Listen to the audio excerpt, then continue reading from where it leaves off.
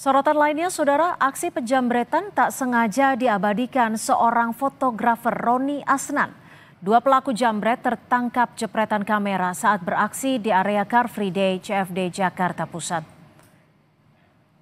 Hasil foto Roni Asnan beredar di media sosial usai berhasil memotret dua penjambret di CFD.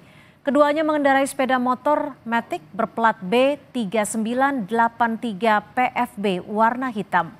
Wajah salah satu pelaku sangat terlihat jelas tertangkap kamera. Pelaku diimbau segera menyerahkan diri. Ramanya informasi jambret di CFD membuat warga lebih waspada saat beraktivitas di hari bebas kendaraan.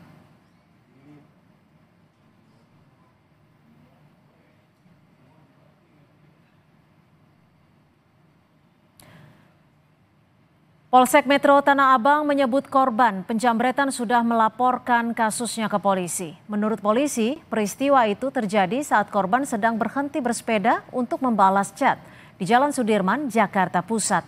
Tiba-tiba dua pelaku menjambret ponsel dan langsung kabur.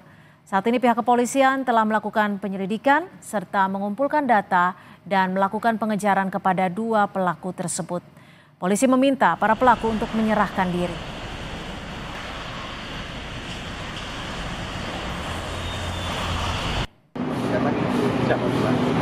Kemudian dari hasil patroli cyber tersebut kami berhasil mengidentifikasi korban.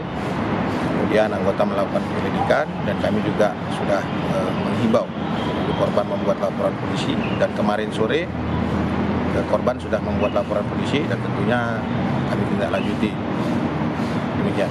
Uh, yang dijamret itu apa bang? Untuk kejadian kemarin jadi korban dijamret itu handphone ya satu handphone.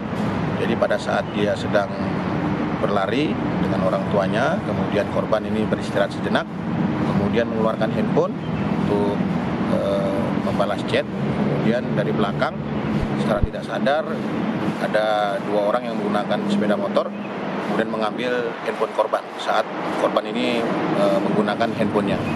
Nah ini kan dari identifikasi wajah pelaku ini e, pemain lama atau gimana bang? Ya tentunya kami melakukan penyelidikan. Yang kami juga melakukan penyelidikan mulai dari identitas ya kendaraan yang digunakan oleh pelaku. Kemudian juga kami melakukan penyelidikan mengidentifikasi dari foto yang berhasil ditangkap oleh seorang uh, fotografer. Kemudian kami analisa dan tentunya saat ini anggota sedang melakukan uh, pengejaran terhadap uh, pelaku